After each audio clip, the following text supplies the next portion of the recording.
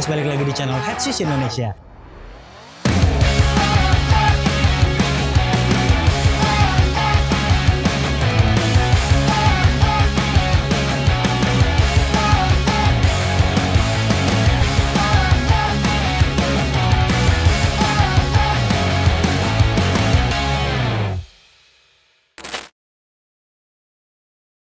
Halo Bowlers, balik lagi di channel Headsus Indonesia.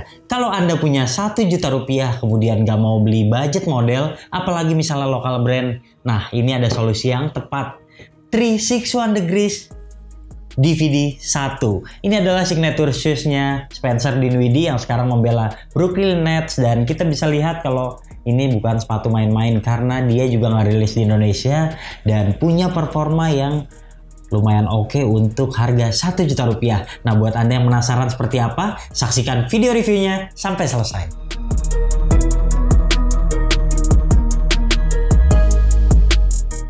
Oke, jadi Spencer Dinwiddie memiliki signature shoes yang mereknya sama dengan Aaron Gordon. Sementara kalau dilihat memang performanya dia di bawah Aaron Gordon. Jadi mungkin 36 One Degrees itu yang pertama Aaron Gordon yang paling mahal, yang kedua baru sepatu ini. Seperti Anta Clay Thompson dengan Anta Gordon Hayward. Tapi apa aja sih yang bisa didapat dengan sepatu yang dibanderol 80 sampai 100 dolar US ini?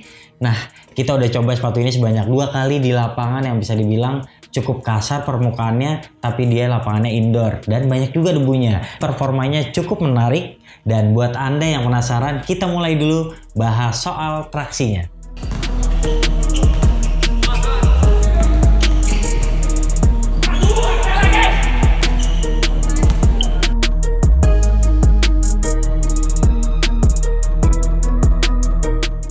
Ya sebelumnya kita mau lihat kalau dia punya box yang keren, nggak kayak Aaron Gordon yang pertama ataupun yang kedua, dia punya benar-benar box khusus signature shoes pada umumnya. Spencer Dinwiddie, The Mayor, dan Hartford and Hunter.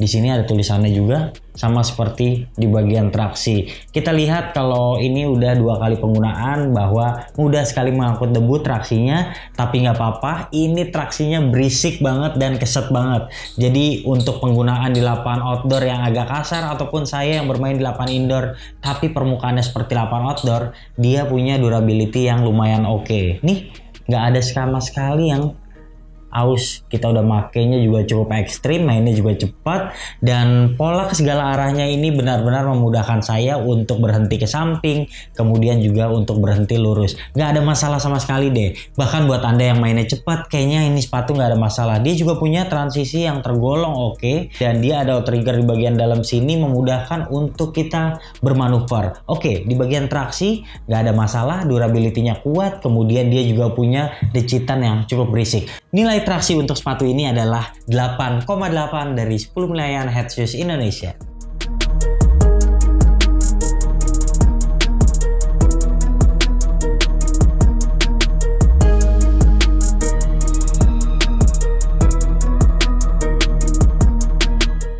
Yang kedua kita akan membahas soal cushion dan dia sudah dilengkapi dengan Energy X seperti Aaron Gordon 3 dan hasilnya adalah ini benar-benar empuk sekaligus bouncy. Jadi buat Anda yang membutuhkan cushion enak sekali untuk digunakan cushion yang nyaman, ini salah satu sepatu yang proper banget.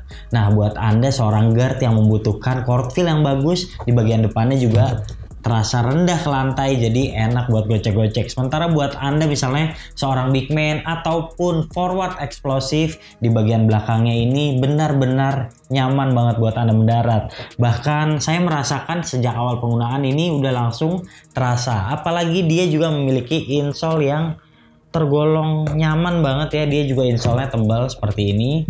Bahannya seperti bus dan di bagian belakangnya ini agak tinggi sementara di bagian depannya ini rendah banget. Saya suka dengan penerapan cushioning di sepatu ini walaupun saya prediksi umur pakainya juga tidak terlalu lama apalagi buat anda yang bobotnya berat. Karena terasa mengompres berlebihan sekali ketika kita lompat dia itu bottom out. Jadi ketika menahan bobot berat bagian cushion ini seakan makin melebar. Nah kalau anda bobotnya berat terus mainnya sering lompat-lompatan ini pasti bagian belakangnya akan semakin melebar seiring penggunaan. Oke, secara cushioning memang menyenangkan sekali walaupun durability-nya tidak terlalu bagus dan kami sepakat untuk memberi nilai 8,5.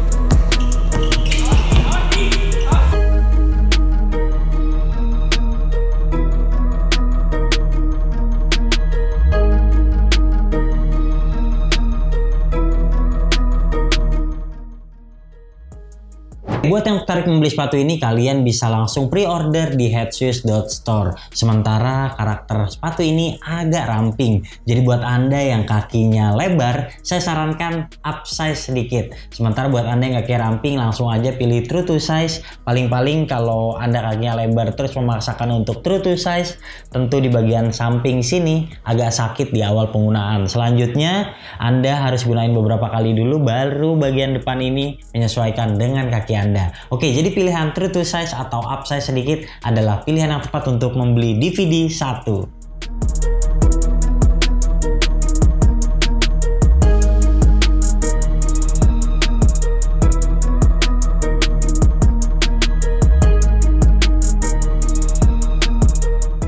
Ya, berlanjut ke bahan atas dan ini bukan bagian favorit saya karena mungkin ya, karena harga jualnya murah, dia juga dihadirkan dengan bahan yang tidak terlalu maksimal. Bisa dibilang nggak terlihat premium ya, karena dia bahan rajutannya juga terlihat murahan sekali seperti ini dan dia ada fuse-fuse yang melingkar ini juga tampilannya kurang menarik Anda, saya sarankan pilihlah colorway yang unik agar sepatu ini tidak terkesan seperti sepatu murahan. Oke, terus dia yang menariknya lagi ada di sini seperti bahan-bahan kulit sintetis, lalu di sini ada plastik-plastik nih. Dan meshnya juga bisa dibilang yang tergolong plastiki banget seperti ini. Nah, selanjutnya kita bahas soal pergelangan. Kalau Anda lihat lebih detail, desainnya ini mirip banget sama di Rose 11. Jadi ada padding-padding ataupun busa di bagian luar sini, sementara di bagian dalamnya ini tidak terlalu menarik karena bisa dibilang padding ataupun busanya ini terlalu datar dan yang bagian belakangnya ini malah tidak ada rumah tumit yang bisa menahan Achilles dengan baik. Jadi saya merasakan memang kuncian di pergelangannya kurang maksimal karena mungkin efek dari padding yang tidak terlalu mengunci ini. Kemudian kalau kita perhatikan nih bahan lidahnya yang paling pol-polan nih kurang menariknya nih. Jadi tidak rapi seperti ini, tidak bagian atasnya ini emang nggak menarik sama sekali, tapi bagian bawahnya dia dilengkapi banyak ventilasi seperti ini. Ini yang bikin lidahnya jadi lebih fleksibel nyaman banget. Terus kulit sintetisnya juga terlihat murahan sekali, bahannya juga kurang rapi, di double-double seperti ini, tidak dirapikan di bagian pinggir-pinggirnya ya tampilannya jadi seperti ini. Kemudian di bagian sini ada logonya ini juga mampu menahan tali jadi lumayan oke okay. sayangnya talinya nih nggak jelas nih jadi talinya itu bahannya agak gampang rusak seperti ini keriput dia melintir-melintir seperti ini dan memang juga kurang menyenangkan mengikat tali terutama di bagian depan karena modelnya miring seperti ini dan ini agak menyakitkan ketika awal penggunaan. Untuk fleksibilitas bisa kita lihat kalau bagian depannya ini begitu elastis sementara di bagian tengah ini seperti agak kaku karena juga ada plastik di bagian tengah sini lalu dia juga tertanam plastik. Ya jadi penerapan bahan atas ini lebih fokus ke performa karena menurut saya tampilannya biasa aja dan kualitas bahannya ini kurang menarik. Oke jadi nilai 7,3 untuk bahan atas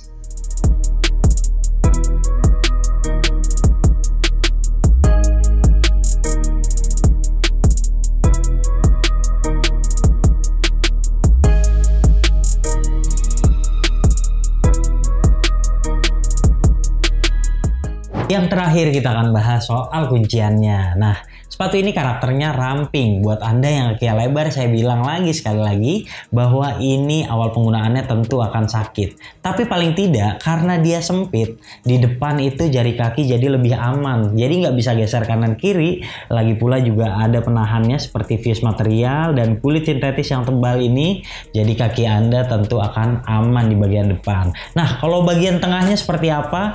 Bagian tengahnya ini ketolong dengan plastik yang menjulur dari depan hingga ke bagian belakang ini. Jadi di bagian tengah nih terasa tidak terlalu fleksibel, cukup nyaman apalagi buat Anda yang suka lompat-lompat, mendaratnya jadi lebih stabil. Apalagi karakter sepatu ini juga tergolong cukup datar di bagian tengah, jadi aman banget ketika Anda suka lompat-lompatan. Nah, kemudian Anda yang suka banget sepatu begitu menjepit kaki misalnya, Anda bisa maksimalkan ikatan tali ini. Sayangnya tidak terlalu nyaman karena di bagian depan ini agak kaku dan dia talinya agak miring gini. Nah, kalau Anda ikat kencang sekali, tidak ada penahan apa-apa jadi langsung menjerat tempurung kaki Anda.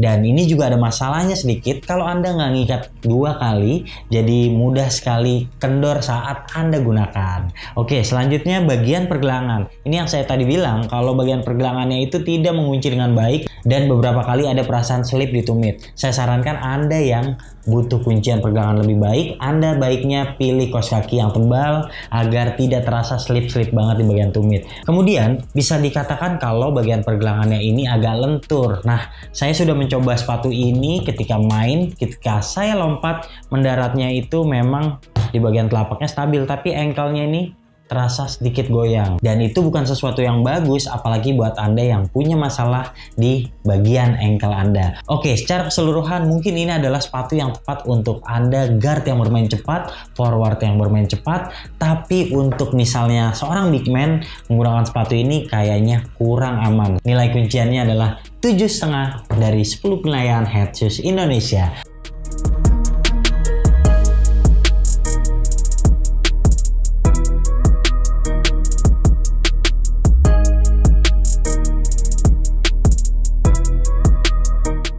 Jadi penerapan cushioningnya itu di bagian depan agak tipis, sementara di bagian belakang ini tergolong berlapis, nyaman banget. Nah kita akan langsung lihat bobotnya seperti apa karena kita lihat kalau Aaron Gordon menggunakan Energy X beratnya itu sekitar 450 gram 11 sepatu. Sementara untuk Dinwiddie satu ini kita lihat tergolong cukup ringan ya. Tidak sampai 400 gram 395 untuk yang sebelah kanan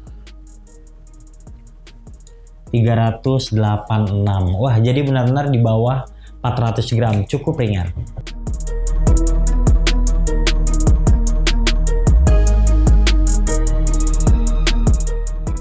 Ya, jadi secara keseluruhan buat Anda yang punya budget 1 juta kemudian Anda ingin beda dengan yang lain karena memiliki signature shoes kemudian juga nggak rilis di Indonesia dan ini adalah pengalaman baru kalau Anda biasa menggunakan Nike atau Adidas ini adalah sepatu 361 degrees yang tentunya unik buat Anda pakai. Nah, ini satu juta udah dapat sepatu yang nyaman banget walaupun tampilannya kurang menarik dan bahan atasnya juga kurang maksimal. Secara keseluruhan, kami memberikan nilai 7,7 dari 10 penilaian Headshoes Indonesia. Oke, boleh jika Anda suka video ini, jangan lupa klik like, subscribe, serta tulisan komen di kolom komentar. Main-main juga ke Instagram kami di headshoes.id dan headshoes.store. Sampai jumpa di video kami selanjutnya. Bye-bye.